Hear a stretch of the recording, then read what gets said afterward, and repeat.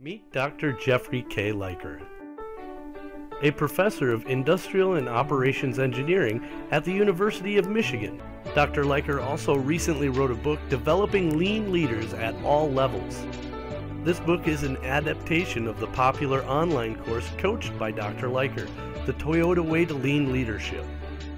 Learn from an expert and learn how to develop lean leaders at all levels to benefit your company. If you want to find out more, there is an online course of the book located at toyotawaytoleanleadership.com. Thanks, George. As George mentioned, I'll be talking about standards, standard work, and visual management.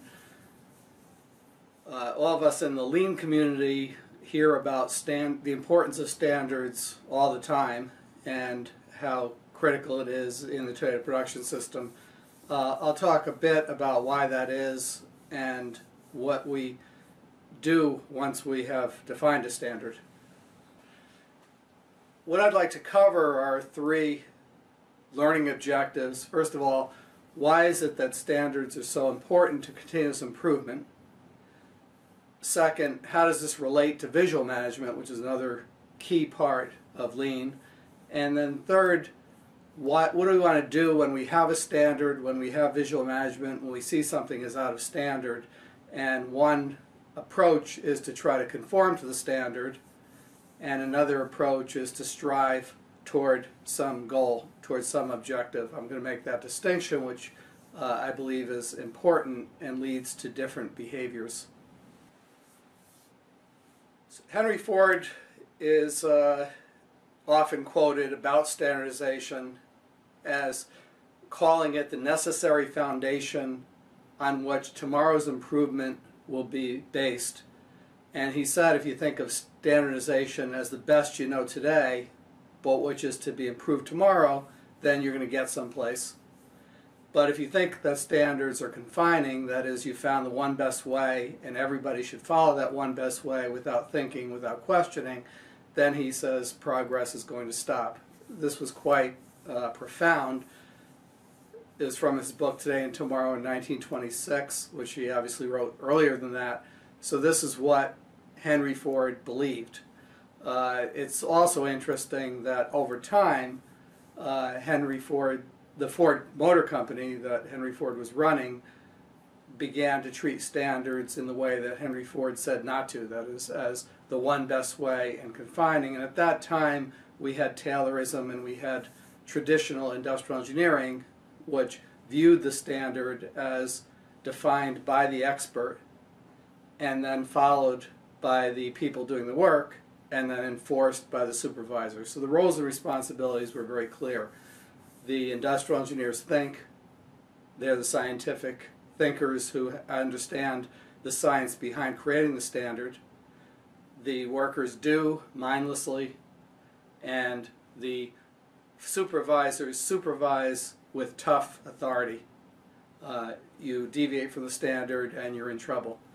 Now at that time, he was dealing primarily with manual work like shoveling iron ore, and he was dealing with people who didn't have, uh, who came from other countries and didn't speak the language and weren't very well educated, and it was his vision that educated engineers would be the thinkers, the only thinkers in the workplace and maybe there's some truth to it or more truth to it than there is today.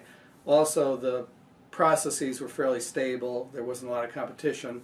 In a stable environment, you can maintain the same standard for longer periods of time. Whereas in a dynamic environment, you should be changing the standards as conditions change.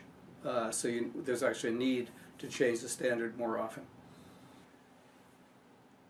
if we put Henry Ford's idea into a diagram into the process for long-term continuous improvement, we can think of it as stair steps, where the standard we can view as today's baseline, not necessarily the one best way, but rather it's the way that we're doing it now, and it's the baseline. And then when we see that there's deviations from the standard, we then ask the question, is this a positive deviation or a negative deviation? By positive I mean, is this a better way or is it a worse way that we have to correct? And when we find better ways, and if we, particularly if we encourage the people doing the work and the supervisors to think, then we will we should be able to find better ways through time, through experience, and also adjust the standard as conditions changed. One of the things we know from lean is that the best people to make these changes are the people who are closest to the process, the people at the Gemba, because they can smell, see, listen to the uh, equipment, for example, uh, as it's running every day. They know it better than anybody else. Now, when we uh, do find a better way, then what we want to do is to test it, verify it, and then change the standard. Uh, so what we're doing is PDCA, PDCA, PDCA, and as we do PDCA, as we learn, we adjust the standard. Why would we want to adjust the standard? And the main reason is because more than one person will be doing that job. More than one person will be doing something to that piece of equipment. And if one person has an idea and they understand stand it as a better way, then they can follow their own better way. But as soon as someone else tries to do the job, they'll do it in their best way. And then we won't have a, a common best way that we share, and then we also will not share any improvements. And therefore, I will have my better way, and you'll have your better way, and we're not learning as an organization. In some organizations, I was in a company in Germany that is in the process industry, and they're running around the clock. And 24 7, they have four different people who are responsible for the same part of a machine. So they have to all come together and agree on the best way, for example, how to do a changeover or how to maintain the equipment. Uh, and they have a process for doing that. So Henry Ford gave us the basis for organizational learning. We standardize the best we know we try to find better ways. We then re-standardize. We try to find better ways. We re-standardize. And standardization means a team of people sharing their best knowledge about the way we know today. And then we can use that stable new way as the platform for experimenting, for learning as a, as a group, not just as individuals. Jeff, on, the, on that topic of uh, standardized work, have you found any valid reasons that people would have not to share the way somebody else does it uh, versus the, have you come across that at all? Uh, well it's valid in the sense that uh, the reason that people in I know in a lot of Ford plants and a lot of the the plants in, in Michigan, auto plants in Michigan, the reason they did not share their better way was because once the industrial engineer got a hold of it, they would increase the performance standard, and people would have to work harder. No, that's crazy. So, that's crazy, right? so in that case, that was because they were smart. that was the, the reason for, for hiding the, the, the better way was they were smart. Uh, but from the point of view of the organizational learning, there's no reason to kind of stick your idea in your pocket and hide it, and uh, then on some certain date we'll all show ours you know, it's not, there's not it, there's not a game that I can think of which in which everybody wins because we've been hiding our our knacks or our, our better ways. Uh, so the result is that the company loses, and if the people, in fact, are uh, given security by the company, if they're a part of the company, if they're a team, then the, the team wins or the team loses. If the culture is everyone for themselves, then it's better to hide your better ways, which is what has typically happened in traditional organizations.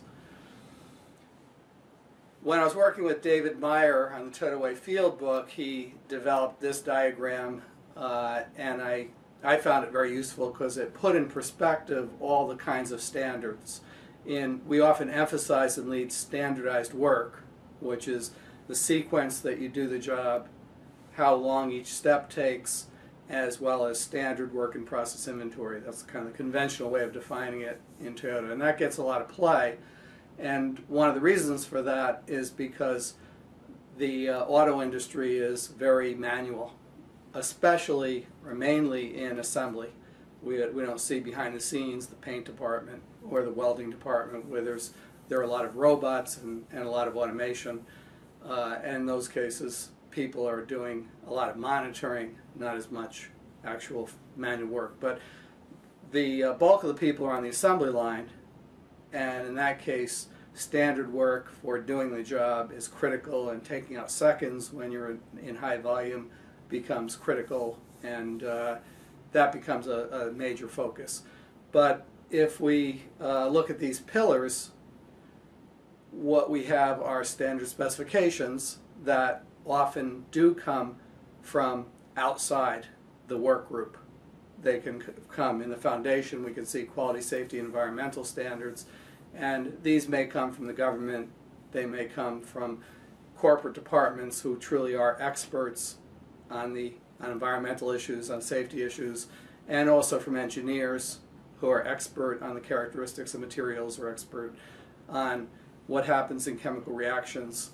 Uh, and in those cases, we don't want the worker to tamper with the uh, chemical mixture that makes a uh, drug because they aren't expert at that. And they're likely to uh, to ruin the drug maybe maybe kill somebody or, or, or, harm somebody.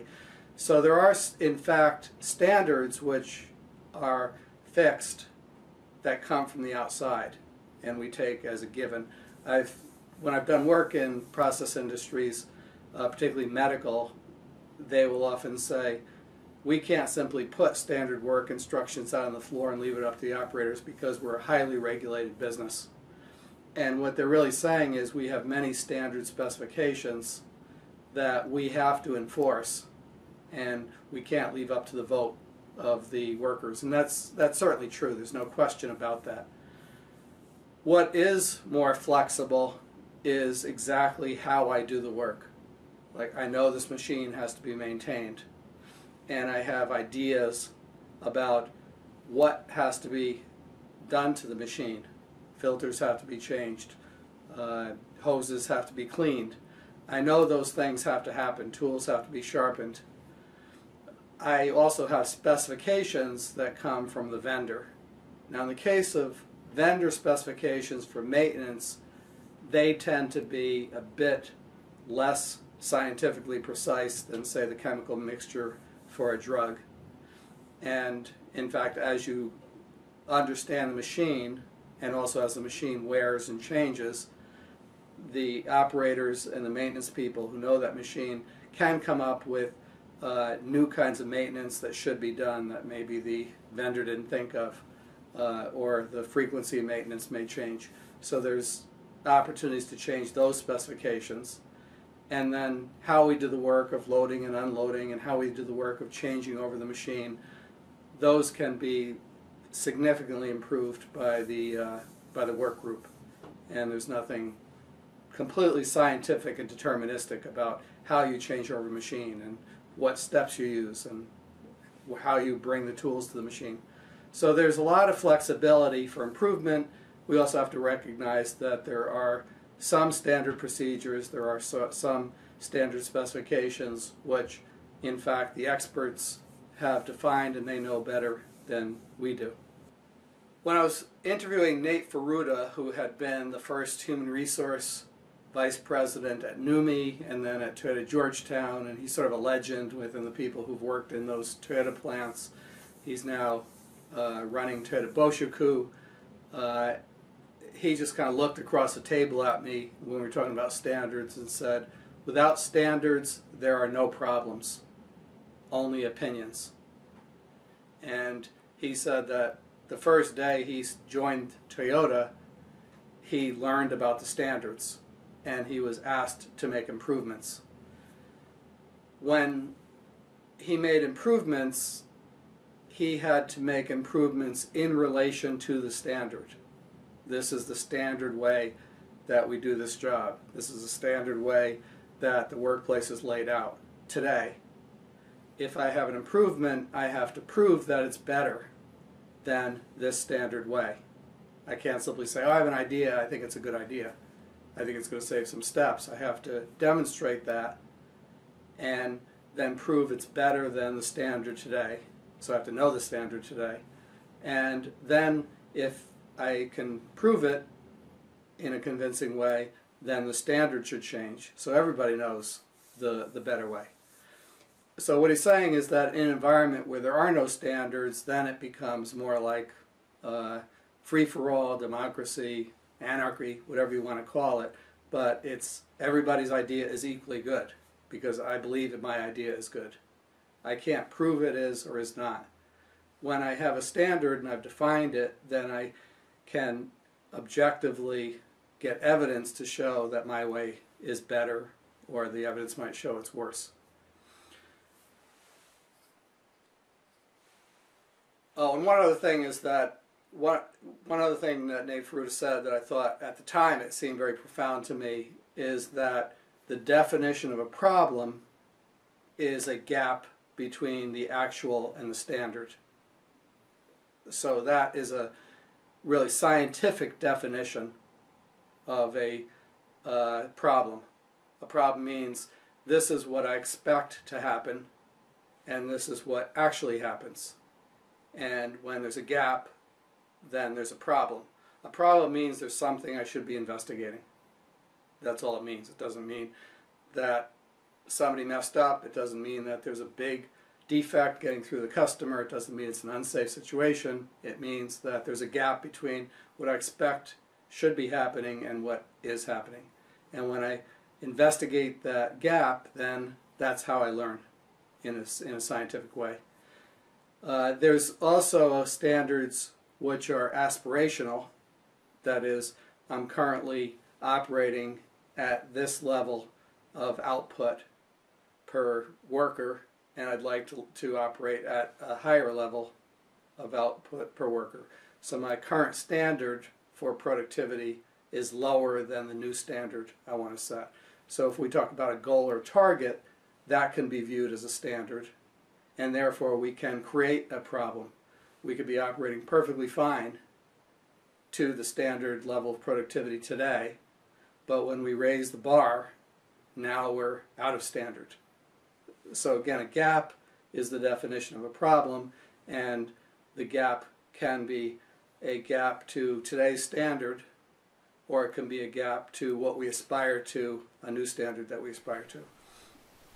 Well, I'm glad you explained that. I had somebody um, email me and say, I look at this visual and it doesn't make sense. I like it, but it doesn't make sense. and I said, yeah, if you if you just associate a problem is really a gap to the standard, it'll make sense. Okay, good, good point. Yeah, that's uh, critical because I don't think we think of problems in that way. And in the last webinar, I talked about how we often associate problems with something is wrong, and we have to react to that something wrong, and then that leads to firefighting. Now, I'll talk in a little while about Mike Rother's work, which I've talked about already, but uh, he specifically chose the word improvement instead of problem solving because there's a association, a, a, a built-in psychological association for most people between the word problem and the word somebody's in trouble. And we're not thinking of, prob- of the problem as a gap between where we want to be and where we are. We do think of a goal as being where we want to get to, and we can see ourselves striving to improve to reach that goal. And I think, again, that dis- distinction between reacting to problems, to deviations, and striving towards something is an important distinction. And I'll get into that in a, in a minute. Let's talk about then the relationship between standards and visual management. And as Nate Furuta said, without a standard, you can't define a problem. And similarly, without a standard, you can't have visual management. Visual management, I would argue, is impossible without standards. What, in fact, visual management is doing is showing you a gap between the standard and the actual. Uh, so if you look to uh, well, my left, when I'm looking at the screen, somebody's looking at information on a board, and it's just information, and it's interesting, and there might be even something useful, for example, a job posting. Uh, but that person is not look, looking to uh, necessarily take action right now. They're not looking to see how am I doing compared to how I should be doing. They're just perusing the board and it's sort of interesting. On the right, we have visual indicators which we can take action on. And a stoplight is one example. Uh, according to the law, which pro provides a standard, when you see a red light, there's a certain place on the road where you're supposed to stop your car. And if you don't, you're violating the standard, and that is can be enforced if there's a, a police around, and there can be consequences for not following the standard. So that's a case where the standard has become so ubiquitous that we normally would not even think about it as a standard. Uh, we just drive the car and we know when we see red we stop, when we see green we go. So uh, that's not only interesting because it's a ubiquitous standard, but it's also interesting because it's become a global standard. You can go, as far as I know, any place in the world, and when you see a red light, you're supposed to stop your car. And that's, I think, the reason why we often see in various kinds of charts red, yellow, and green being used as indicators. And normally people would not say red is good, it means go, keep going, and green is bad, because we've developed a mental standard of red being stop. Uh, we use that in this uh, diagram uh, for a meter. We could have simply had a meter that showed information about the pressure the temperature. But as soon as we put red zones and yellow zones on there, we can see are we in standard, are we trending toward being out of standard. Once we're in red, we have to act immediately or we could hurt somebody or this batch might be a bad batch of material. So visual management again is really only a way of displaying the standard compared to the actual. And Kanban, it's often thought that Kanban is a tool for inventory reduction. It's a key tool in just-in-time and, which is true in a sense, but really what Kanban was originally intended for is a type of visual control. Uh, literally, when you translate Kanban, you translate it as a sign post. Uh, so I was walking with uh, a Japanese student in Japan, and we were by the university, and there were some students protesting, and they had protest signs, and he points and he says, "Oh look, Kanban." You know, I'm looking for uh, a Kanban card on a container, and he was talking about the protest signs uh, that were Kanban. So Kanban is really just a uh, sign that's giving information. And in the case of uh, Toyota and Just in Time, Taiichi Ohno noted that when we have one piece flow in a cell, then we don't have work in process inventory perhaps, in which case the signal, the sign that I should make the next part is that my partner next to me has just used the part that I already made. And that provides the visual signal, and it's, and it's very clear. But when we separate processes by some distance or time, then it's not so clear. We need to create some visual way of knowing my customer, my direct customer, is ready for more and how much are they ready for. So this uh, is an example of Kanban squares. If you're close enough to the inventory buffer, in this case the finished goods inventory buffer for this line, then you can see the squares on the floor and when I put three boxes down then I've filled all the squares and then like a traffic signal I should stop. Now we see a problem because there's a fourth box one that's outside of the three squares. There was no Kanban to tell me to make that box, and these people are still producing. So there's an out of standard condition. Uh, so again, visual management is very central to many aspects of the Toyota production system, and the reason that we use something like a Kamishibai board, which is showing bars for each worker or each process that says, here's how long this takes, here's how long this takes, here's how long this takes, here's the takt. So the Kamishibai chart, you're showing the heights of different people's workload compared to the standard, which is the takt. And in that case, if you're too high, then you're not going to be able to keep up with the takt. So therefore, you'd be underproducing. And if you're too low, you have waste, you have extra time. And if you use that time to make extra parts, you're going to be overproducing. A lot of the uh, efforts of the Toyota production system are to make what otherwise is not visible visible. And normally we want it to be visible beyond a computer screen, unless what you do is computer work. But uh, in most cases, when we're talking about a process like in a hospital or in a in a uh, factory that's that's not computer work, we want the people doing the work and the supervisors and the management to be able to see clearly: are we in standard? Are we not? And we generally find it easier when we take it out of the computer or the computer is running something like an andon that is big and it's very clear. You're red, you're yellow, you're green. Okay, that is for the benefit of people. The robots don't care. Uh, but the people, us, we are visual. So it helps very much if we can very clearly at a glance see, are we in standard? Uh, and then you could add to that chart work elements, individual work elements for each of those bars. And guess what? You make them green, yellow, red. If they're red, then it's waste. If it's green, then it's value add work. If it's yellow, it might be necessary waste. Uh, so the same sort of visual, three three visual levels. There. Excuse me. Good way to see the opportunity. Yeah, and that and the reason you're doing that is to make the opportunity visible to the whole team in a very clear and unambiguous way.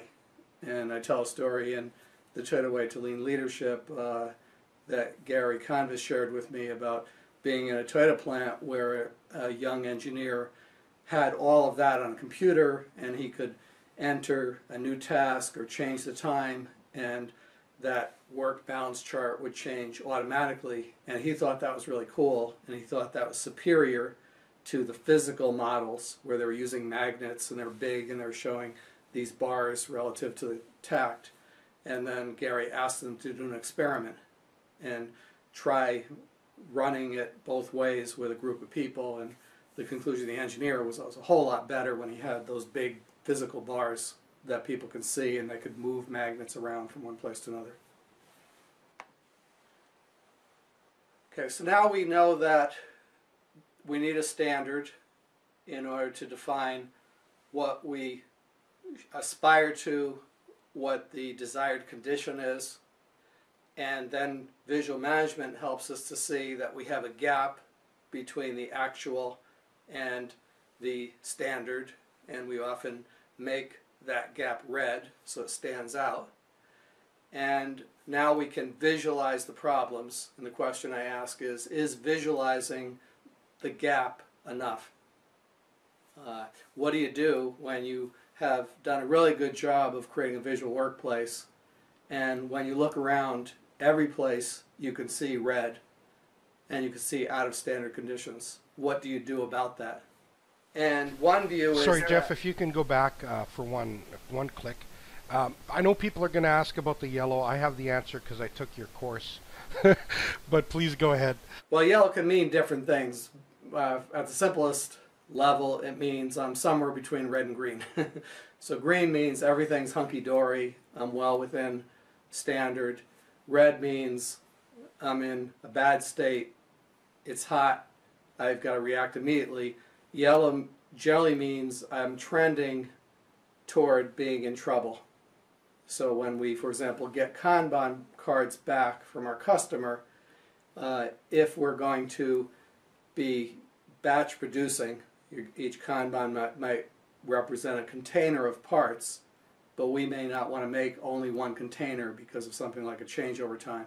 We might want to make several containers and make up a batch. So the cards are coming back, and the first, say, three cards are in the green zone, and that's not enough for a batch. I'm going to run when I get to the fourth card. When I get the fourth card, that will be in the yellow zone. I'll have an area uh, labeled yellow, and when I, when I put that card in a slot, it's now in the yellow zone, which means now I have enough cards that I can run a batch of four bins. And, but I'm not desperate. I don't have to run that right now. When it gets to the red zone, it means I'm in danger of starving the next process. And I better run that right now. It's now urgent. So green means I'm okay, red means I'm in trouble, yellow means I'm trending in the wrong direction. In other cases, people have used yellow to say, I've got a problem, but I have a solution that I haven't implemented yet. And therefore, I have this under control, uh, but I'll, I'll turn it green once the solution is in place and proven. So those are at least two different ways you can use yellow. Okay, so now what we're seeing are abnormalities, and now standard work becomes our theory about the best way we know today to do the job. I say theory because through in the Kaizen philosophy, there's always a better way. So we can assume that there's a better way, that this is not the best way. And then when we see divergences from the standard work, these could be problems in the sense, well, they're always problems. The problem is there's a gap. But you can also view it as an opportunity for Kaizen, and it may well be the case that the different way of doing the job is better than the standard. So what we need to do is investigate to see if in fact this is a better way or in fact this is a worst way and uh, we need to then either enforce a standard or not enforce a standard. Let me respond both to uh, the two questions and discussions uh, that that uh, the panelists had. One discussion was about suggestion systems, and uh, the gentleman was saying that they have a suggestion system. There's there's been a lot of suggestions. The suggestions are responded to within one day. There are pictures of before and after. Uh, so that's what I would call re reacting to anomalies or reacting to gap, perceived gaps. I perceive a gap between where we are and where we should be or where we are and where we can be and then I make a suggestion. Uh, move this container of parts from the bottom shelf to the top shelf because I use it more frequently and that will then result in less most less wasted motion so I'm eliminating waste uh, and you can take a picture of that before and after. Uh, the suggestion system is certainly something that Toyota has incorporated. There are more or, or less effective ways of organizing suggestion systems. If you stick a box on the way out the door for the workers uh, and you have an environment where the workers are not encouraged to think, and then the only suggestions you're likely to be is when somebody's mad about something.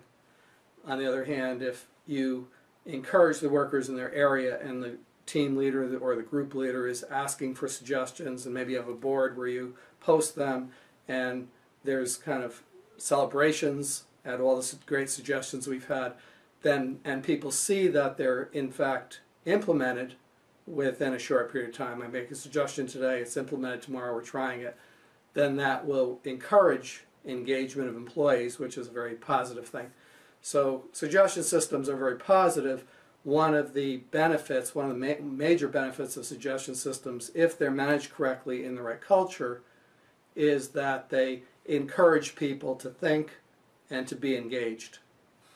Uh, so I'm going to go beyond that in a minute, but just reacting to what we perceive as gaps with ideas, which then get tested immediately, uh, is, is certainly one good practice. The question of exactly how you set a standard is there's millions and millions of uh, different situations, but the uh, specific question asked is what happens when I have, say, a chemical mix or, or a uh, process settings for my machines, and I'm running a different mix of products or even a different product on different shifts. So the settings for one uh, shift should be different from the settings for the other. And if you think in terms of cooking, it may be, for example, that different recipes will take different heat levels. One takes 300 degrees, one takes 400 degrees. Now, we could say we only want one standard and then we have to decide do we make it 300 and undercook something or do we make it 400 and burn something? And neither of those would be good good situations. Or we could put it in the middle take the average and then nothing that you cook comes out well. So obviously we don't want to do that so you need to have multiple standards. Even in terms of standard work if you look at a Toyota plant it may appear as though the worker is doing one job but in reality they are installing different things on different cars. We ordered cars with different options. And if I'm going to have eight speakers in the car, it's going to be different standard work than if I'm going to have four speakers in the car. So in fact, the, there, there are differences in the standard work for uh, an operator depending on what option is being selected. And that's on this sheet that's on the, the hood of the car that's showing them what, what option to put on. Uh, and if we have some complicated situations, for example, we worked with a company that makes uh, various kinds of complex equipment that take many, many steps. And depending on the equipment, there's completely different work instructions. So they have notebooks uh, that would apply to different models, and you could color code the color code the notebooks, or you could do various things to make it a little easier to uh, identify what standard work I should be using for this machine. So certainly you need to have multiple standards when you have multiple conditions. And wouldn't uh, you also need a um, different standard for a different number of people in a workstation? Yeah, and I, yeah, obviously, yeah. So you have a cell, and one of the beauties of the original cells that Taiichi Ohno developed is that they were that he was striving for equal productivity at any volume level. So if I have twice as much demand, then I'm going to have twice as many people in the cell. If there's twice as many people, each person will be doing less, doing fewer steps, and they'll have less time to do their work. And then you pull out the standard work for four people cell. You pull out the standard work for a two person cell. Uh, so you, if you can pre-make the standard work for different levels of uh, takt, then you can just pull it out and change it when the demand changes. This is. Uh, answered my question. Thank you very much. You're welcome. So this is then showing what happens when you are responding to problems as they occur, and this in fact is something that I have presented many times in my seminars as a kind of best practice. That is what you want to do is to have standards of various kinds and some of those standards are something like how we do the work, like standard work, and some of those are targets for what we'd like the process to achieve or how we'd like the process to run. And then we visualize the standards that allows then problems to surface because we can see the gaps. Then we solve them one by one instead of waiting for the problems to accumulate in a big batch, which then it requires the experts like the black belts to come in and solve.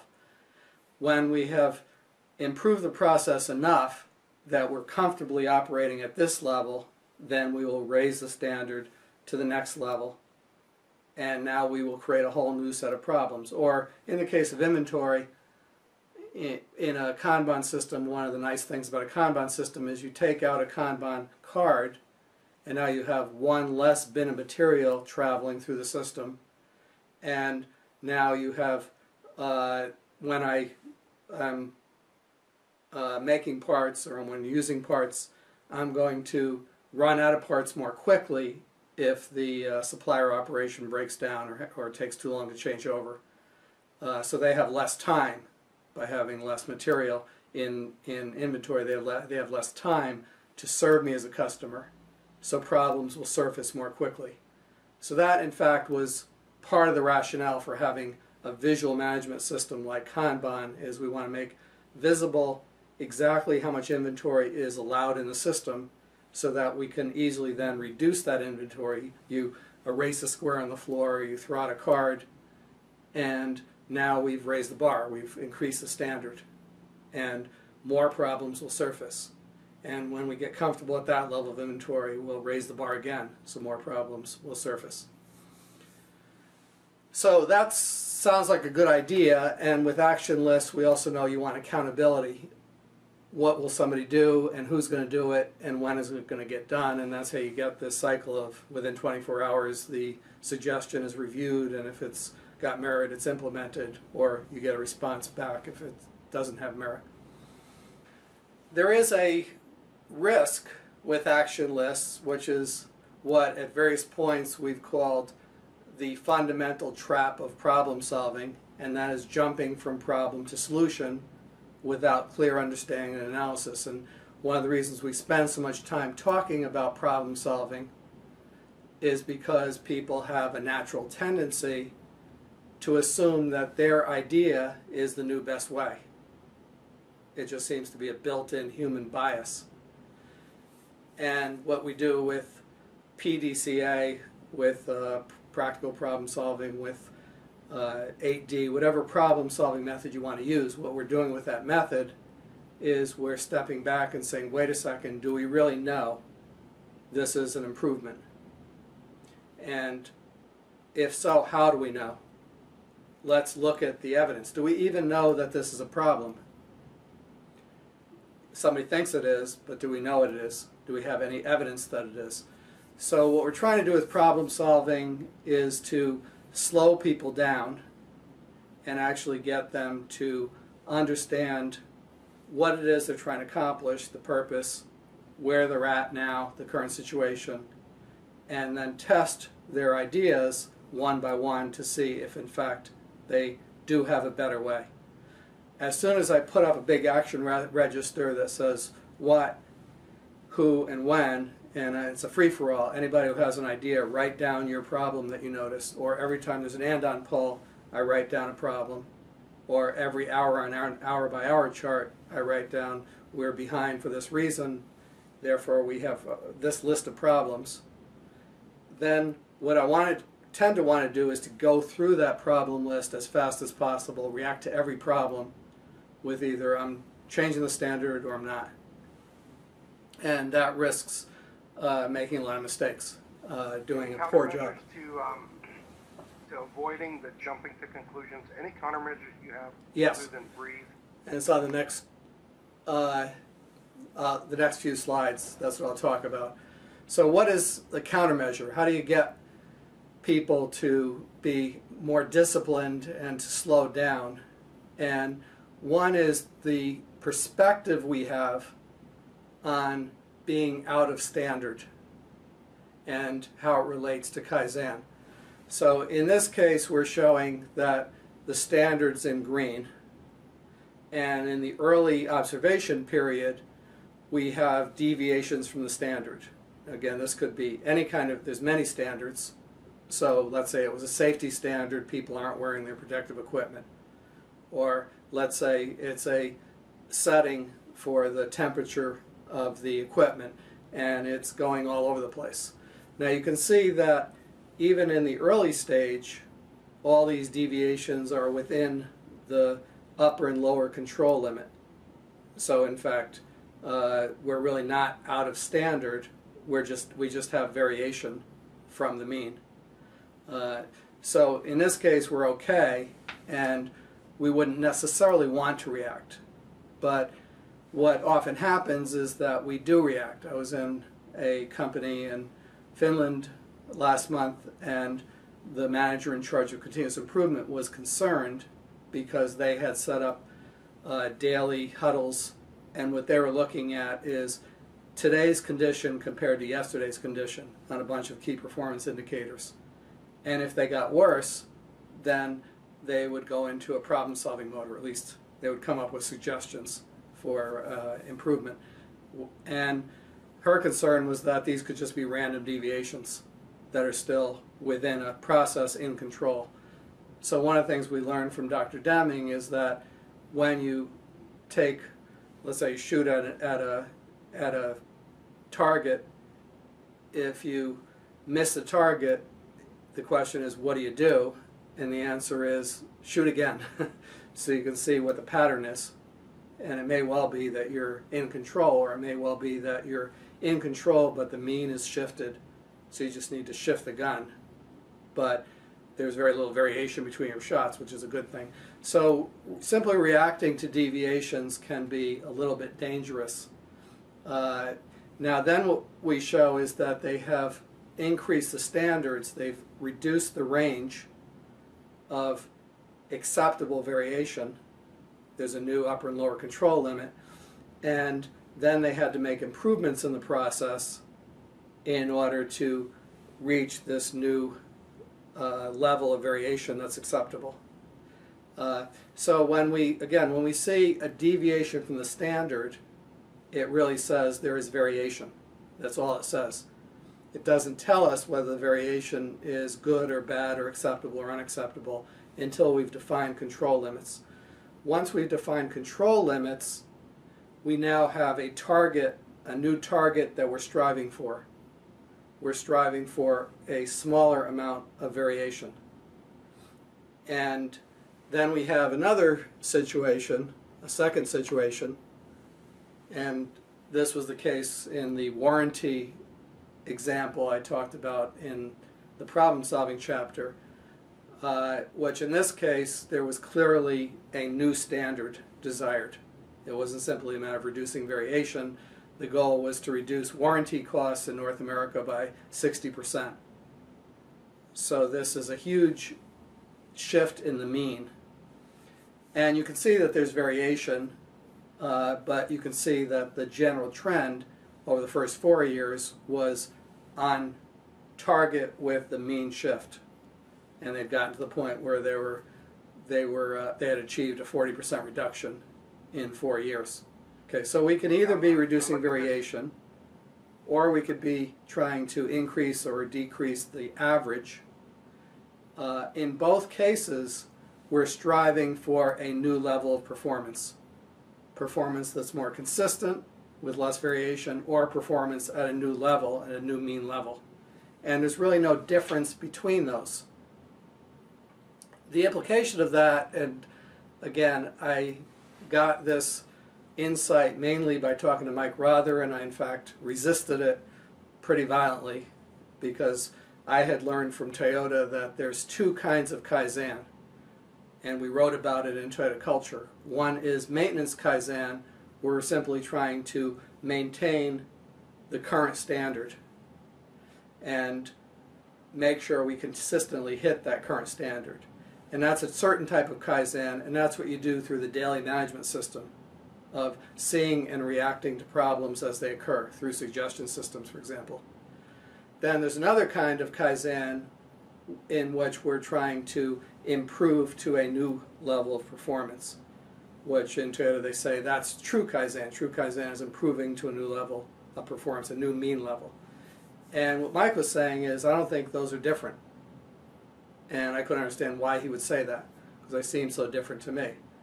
But then what I realized is that what maintenance Kaizen is really saying is we want to reduce variation. We've got a rule, we've got a standard for equipment, and we want that standard ideally to be the same every time. Four people do the job, they're doing it the same way, they're getting the same results. Uh, every time they do the job, every cycle. If you actually measure even one person through cycles, you will always find variation. So therefore, they're out of standard. Uh, maybe every single time they're out of standard. Uh, not necessarily within the range of standard, but, but they're not hitting the mean. So in that case, what you're trying to do is to reduce the variation, and that becomes your target. And then I would ask, how much do you want to reduce the variation to? What are your new control limits if you don't like the control limits you currently have? and that becomes a new target. that's really no different than a target that says I want to have the average be 40% better. I want the variation to be 40% less, or I want the average to be 40% better. In some sense, those could be equally challenging targets. So now we have a target and that we have some reason to believe we want to do something about. And what, again, Mike added to the discussion was the idea that when we are striving toward a target that's clear, we behave differently than if we are eliminating every waste we can see or reacting to every deviation from the standard that we see. When we have a target, there's some direction and there are certain things that we have to do to improve and there's other things that we can do to improve something. We see something out of place, something is messy, we see that there's some extra steps being taken by a worker someplace and these are in the seven wastes and we can say we have to eliminate that, we have to eliminate that, we have to eliminate that. Those may be all eliminated but not bring us any closer to our target because they're not related to the target we've set, say to reduce variation in this equipment because uh, unless we do that, we're going to have a product that is out of standard and is dangerous to our customers. That's what we're currently working on. And we're going to ignore the things that don't influence the adjustment of the machine to make a good product. And then within this corridor of problems that are relevant, that's where we will focus our attention. So now we have a focus to improvement. And then he provided a method for doing that, and the method could be A3, it could be uh, many kinds of problem solving methods, but uh, what Mike was saying is that what we need is some method which includes as a basic component that we break down the big target, say the 40 or 60 percent, into smaller targets that are closer to us. It's hard to think about six years out and 60 percent, but it might be easier to think about the next thing we can improve in the next two weeks. And we want to improve in the next two weeks toward a target condition. So in order to reduce warranty, one of the things we have to be able to do is we have to be able to hear noise and vibration in this process. And currently we can't hear the noise and vibration well enough, we discover. And our tar next target condition is to find a way to make it easier for the inspector to hear any noise and vibration. And we believe that that's a reasonable target condition for the next two weeks. And that's what we're going to work on. And then when we achieve that, then we're going to ask what is a logical next problem to work on within this green corridor, within this corridor of problems to solve that in fact will get us closer to the target of reduced warranty. So this is a very different way of thinking and it's a very different improvement process. Now when we use something like an A3, what often happens is that we are doing it under the supervision of, uh, say, a black belt, and we've been asked to do this project. Maybe it's part of a training course, maybe a consultant has been hired, and then we do the A3 and we follow all the steps and we do a really good job of it, but then that person goes away and we don't do it again.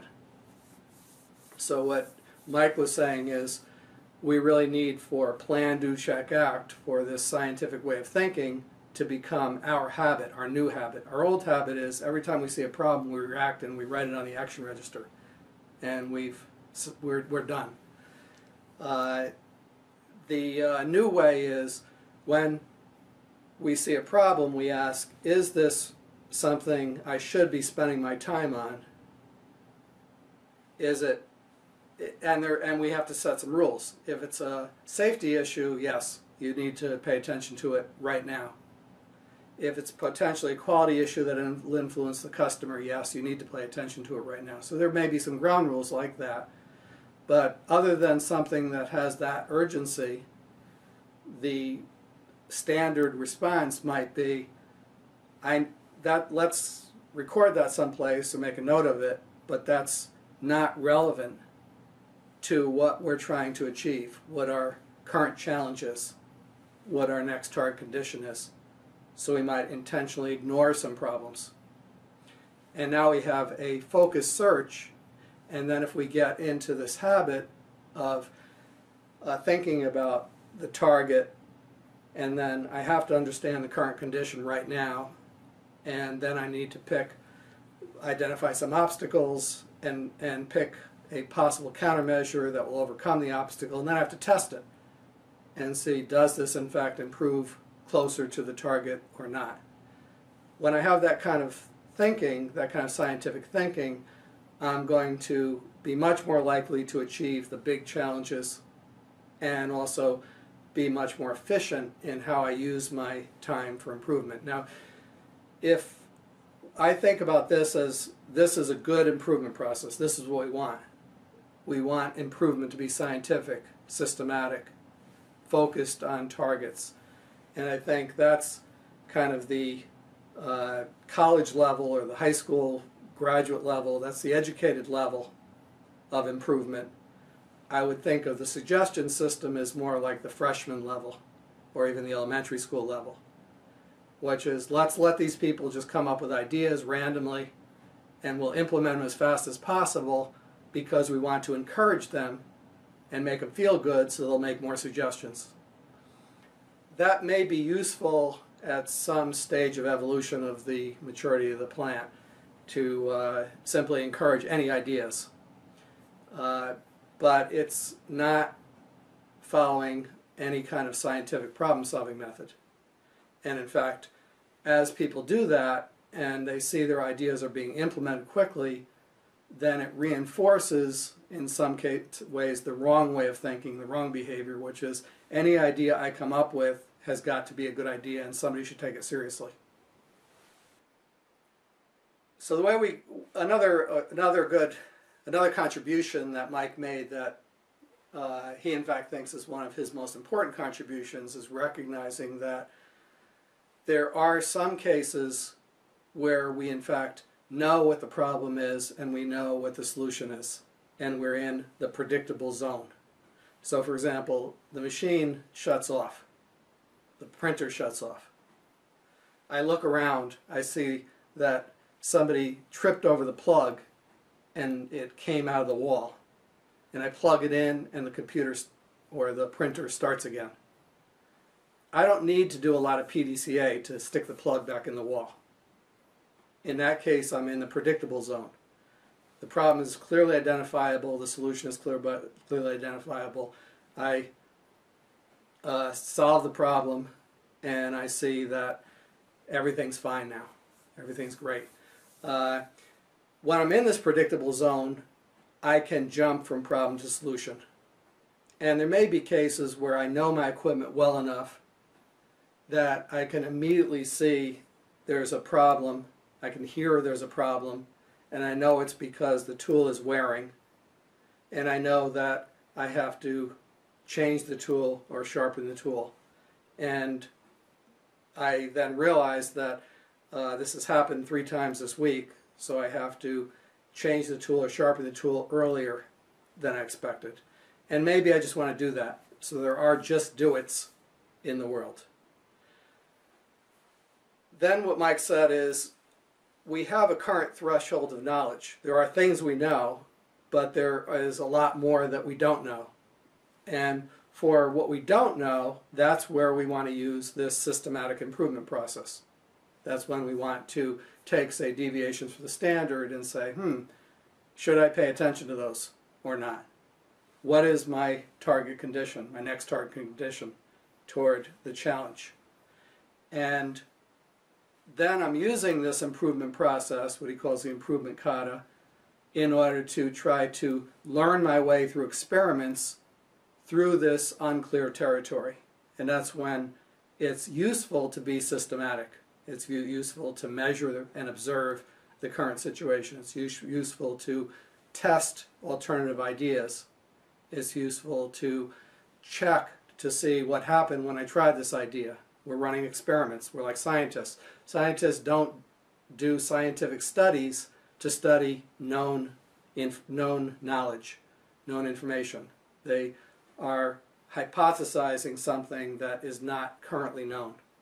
So in our facility, in our operation, in our hospital, and in our workplace, uh, when we are trying to reach a goal and we don't know how to get there, that's when we want to use a systematic process like the improvement kata and run experiments. Now, the problem is that we too often think that we're in the predictable zone when in reality we're in the unpredictable learning zone.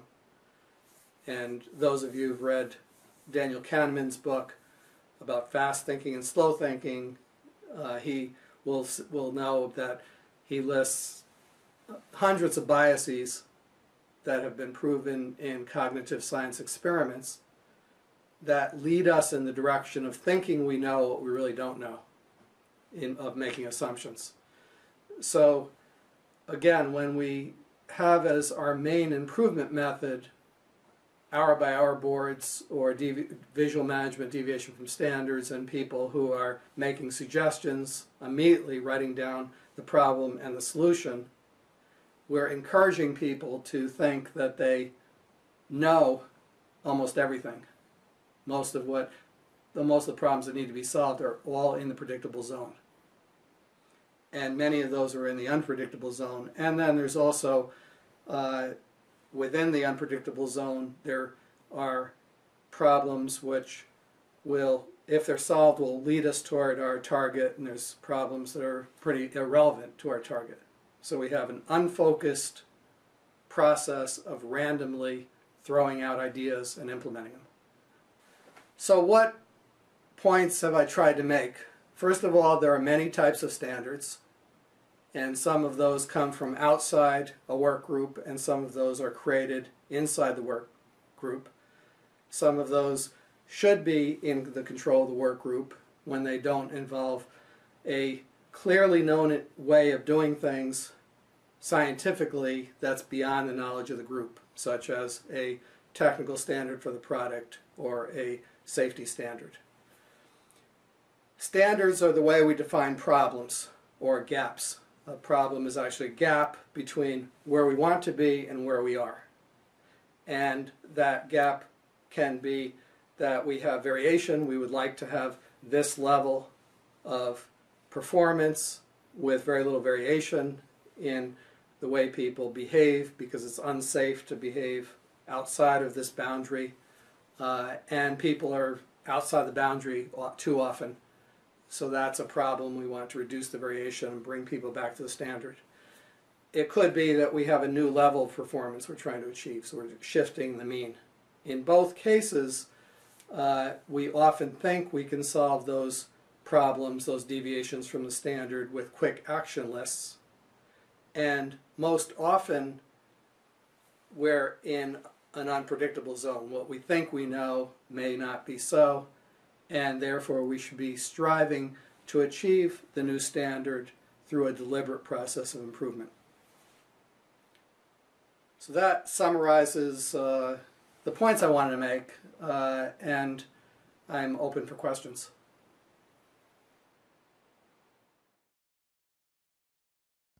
Uh, quick question, Jeff, please. Thanks. Um, how often should you critique a standard? Should it should it be hourly, daily, I don't think there's any weekly? Rule. I don't think there's any rule. The, there, the reality is that we're surrounded by standards in our workplace.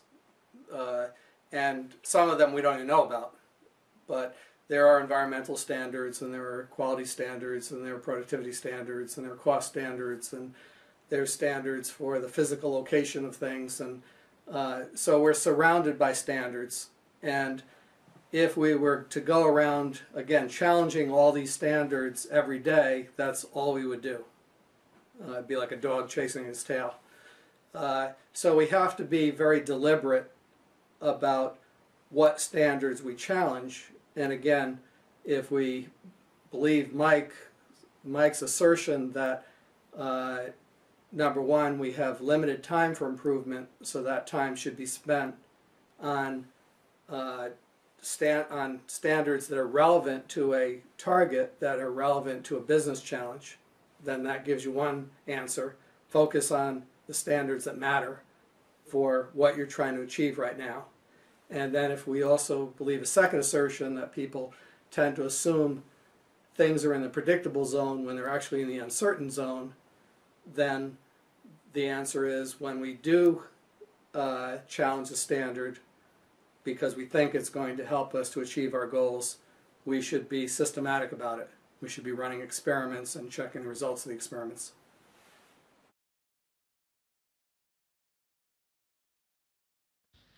Hi Jeff, uh, I have a question.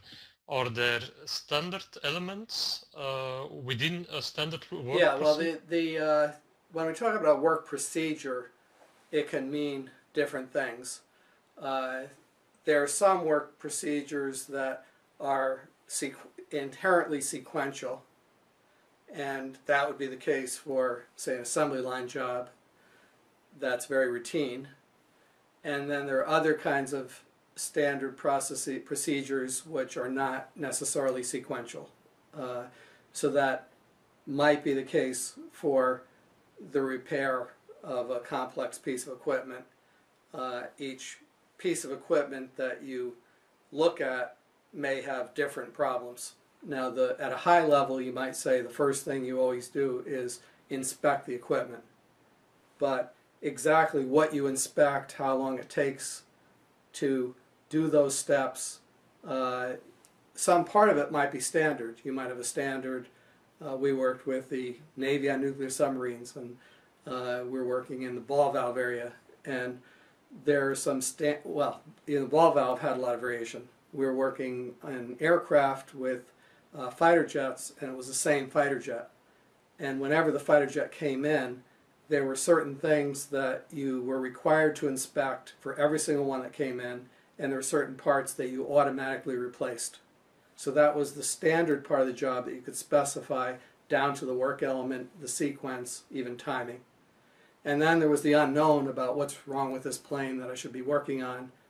And that required a lot of creative diagnosis, and it was difficult to anticipate how long that should take or what sequence you should use to uh, identify different problems and solve those problems. So there will be there will be some standards which are checklists that say we need to make sure we check all these things, but the sequence is going to vary. There's cases where the sequence is clear we also have, when we develop standard work and we say that we need to attach the bumper, we can then break that down into five different sub-steps of attaching the bumper. And for each of those sub-steps, we can have key points, and that's sometimes called the job breakdown sheet that would break down this one step of attached bumper into five sub-steps, and which each, with each one is a key point and that's used for training purposes to train at the detail level. And the standard work is used for looking at the, for developing those bar charts and for looking at balancing the work across people. So there's different levels of granularity depending on your purpose and depending on the task that you're looking at. And in some cases it's clearly sequential, in some cases it's not. Okay, thank you. Okay, I'm going to ask questions and read them off as I uh, see them here. Um, okay, how do you define a better way of a specific assignment? Uh, is, for example, quicker method always a better way of doing the task? A quicker way, if, again, you have to put this in the context of the purpose, what you're trying to achieve. So let's just take as an example the cell, which is kind of the classic in lean. We have a cell and we have, say, four people in the cell, and there's a takt. We want a product every two minutes. And currently, from, for one, one job that we've defined, uh, it, it takes one and a half minutes. Now I speed up that person, what am I going to do? Uh, all I'm going to really be doing is allowing that person to take a longer break or to overproduce more. So in that case, speeding that person up can actually be harmful. On the other hand, if uh, you see some of the more advanced plants, they will have these work balance charts uh, posted, big big work balance charts posted, and they have the the waste is red and the the, the value added is green, and they're constantly trying to speed up. What they're really doing is not speeding up; they're reducing the time it takes to do a work element. When they reduce the time it takes to do a work element, it may be that somebody's underloaded now but what they're going to do is, on a regular basis, they're going to look and say, uh, can we move these work elements? And they're, in fact, going to move the work elements so that if they have four people, three people are loaded fully, and one person is the least loaded. I, if I can get that person down to, say, a half of a job, there may be some other job that they can do with the other half of the cycle that's one possibility. Uh, they may be able to take measurements. If I want to measure something for improvement, they have a half a cycle each each time to, to, to measure something. So there are various things that they can do. Maybe there's a broom right there and they can clean up. But more important than that, as I continue to take out time from work elements and I continue to take work elements away from that person, I can get to the point where I eliminate that position. I eliminate that process. And now I'm doing the job with three people instead of four. So if I'm using those speed ups systematically, then I can get small changes that each don't make any real difference, but when they add up, I'm actually becoming more productive. Here's another one. Uh, could you address the issue of creating standards in a high mix. Um, I'm thinking high mix, low mix environment. I think it's um, high mix, low volume. Uh, we struggle with how far to take this in our environment, but we are look we are working on visual indicators uh, versus our schedule. Perhaps the schedule is our standard. Yeah, I don't know if the schedule is your standard or not, but uh, when you're in a, in the case of uh, high mix, again, I think what you, what you need to do is to think in terms of improving toward targets instead of what should we standardize. The question of what we should standardize cannot really be answered without understanding what it is you're trying to accomplish right now. And what it is you're trying to accomplish right now is presumably different than what you'll be trying to accomplish next year. Uh, because you're trying to raise the level of the process over time, and in addition, conditions will change. Maybe some of your variation, some of your products will go away, or somebody will decide we should simplify our product line. Uh, so uh, today, what are the, the what are, what are the problems that you want to work on, and that means that you have a plan for what you want to improve. Uh, so if, for example, on a particular machine, that today is a bottleneck, you would like to be able to make a larger variety of products in smaller batches because you have a vision, you have say a future state value stream map and it's showing that you're trying to get product to the customer more quickly because that's a competitive advantage or you want to reduce batch size because you're trying to reduce inventory and free up cash for the business, and that's a major focus.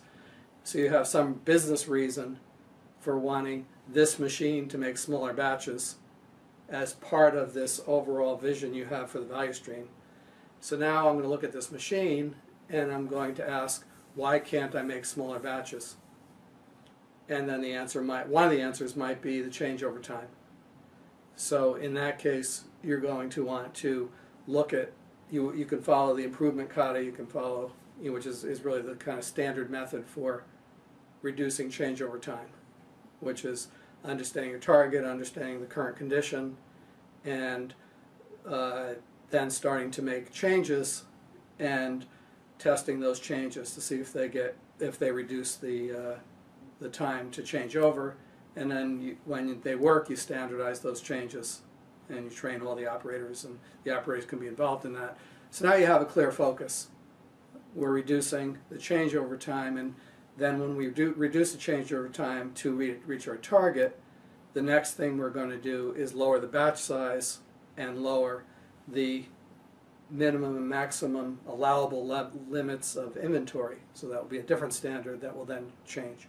And we'll start to move toward a pull system. So these, there may be very, various elements of the system that in fact are connected because it is a system. But we have a direction, we've broken down the direction into pieces, we're experimenting with those pieces, and we're developing new standards. Uh, and the, the schedule may in fact change as you shift from push to pull, as you have more capability to change over more often and reduce batch size as your lead times go down. That in fact will change the schedule. So I wouldn't view the schedule as the standard because the schedule may be a schedule based on uh, a low level of capability. Okay, I'll open it up. A last chance to ask questions uh, from the panelists. Go ahead, anybody. Hi, Jeff. Hi. Uh, I want to ask you something. Uh, when we are uh, developing a, a, VSM, sometimes we, we try to set a, a, a WIP working process between operations, one operation to another. But if we are trying to reduce the inventory, how can we set how many uh, pieces can we have between okay, these well, operations? The, there's a standard equation for calculating how much inventory you should have in a given buffer. And basically there's two components to it. One is the lead time to replenish the buffer from the time I use a part, how long does it take to replace that part? And that includes the travel time and includes the time for the machine to start making that part and then finish making that part. Uh, so let's say it takes four hours before this machine is going to make another part. Then when I use a part, I know that I'm going to have to wait uh, up to four hours before that part is replaced. So I better have four hours of inventory.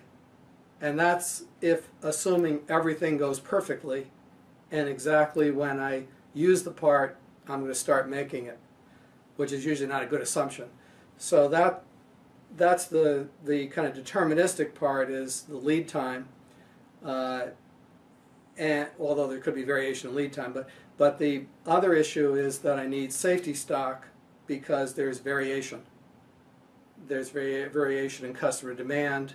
There's variation in the production of the part. There's variation in the delivery of the part and then that question, the question becomes how much, how big should that safety stock be? And there are ways to estimate how much the safety stock should be using statistics and standard deviations and saying, I want 99% confidence, and based on the current variation, therefore I need to hold an extra 4.5 hours. Or sometimes people will use a rule of thumb and say, I look at a chart and I see a, a about 25% uh, variation, which turns it, so I, so therefore I should have 25% uh, plus or minus extra uh, on the high and low side. So they normally what you'll see in a Toyota plant is that the buffers they will look at the, the, the lead time and then the safety stock will be set through judgment and then trial and error, like an experiment. And we will keep on uh, adjusting the buffers based on experience. Uh, so either way, you need to have enough to cover the replenishment time, and then you need to have some some safety stock to cover variation. Jesus, I hope that answers your question. Jesus. Um, any other questions? Last question, and then uh, thank you very much, Jeff, for the great day. But one more question, guys. Go ahead. Jeff, uh, thank you for taking a question. How do you make standard work work in concert when you're dealing with the ISO 9000 requirement? Uh, okay. Well, the okay, the ISI, ISO 9000 requirements, as I understand them, simply say, you tell me as an auditor what you're going to standardize, how you're going to standardize it, how you're going to control it, and then you stick to your plan. And when I come out, I'm going to check whether you're following your plan or not. And there is a question, for example, whether certain aspects of the process that don't influence customer quality, like, for example, the sequence in which somebody does a job, what's on a standard worksheet, whether that needs to be part of your standards that the auditors audit. And that's a question. Uh, sometimes maybe the answer is yes, sometimes it's no, I don't know, but, some, but it's not always yes. Uh, and there's a question whether the sequence of steps and the way I do a changeover needs to be part of the ISO standards. In any case, when as long as I have standards, standard specifications that say that I'm going to lock out the machine, that, and that's a safety issue, and that I'm going to make sure that I test the first part's quality. Those could be standards. But the specific way I do the changeover can vary. Uh, so what I would, so what you might consider is you promise the ISO auditors the least you can promise, which gives you some flexibility uh, to then change what really will not influence safety, will not influence quality. Uh, the other answer is that uh, there are many plants I know that find ways to satisfy the controlled document requirement and they still change the standard work. It's not usually going to change every minute of every day. It's more likely it changes once a week if you're doing pretty well. And you can have people, you can have as a standard that they can write in the standard until they prove the new standard and then it will become a controlled document until there's another improvement. Uh, and with computers, you can make changes pretty quickly. So uh, companies that uh, think about this clearly and that work with the auditors, I found usually don't have a big problem.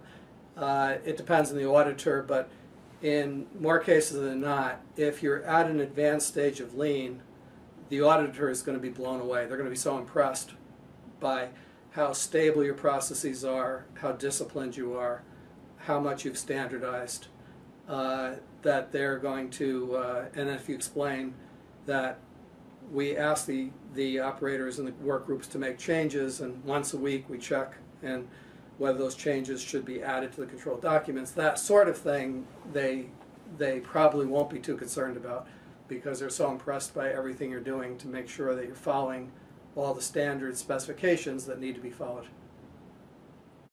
You should Okay, everybody, you guys can take yourselves off mute. Say thank you to Jeff. Jeff, we'll see you next month in January, and uh, we have uh, Michael Ballé January 6th as well. So thank you, everybody. Thank you, Jeff. Have a happy holidays, holiday, everybody. Thanks, Jeff. Thanks, Jeff. Thanks, George. Thank you both. You're welcome. Take care. Thank you. It was very good. Thank you. Thank you.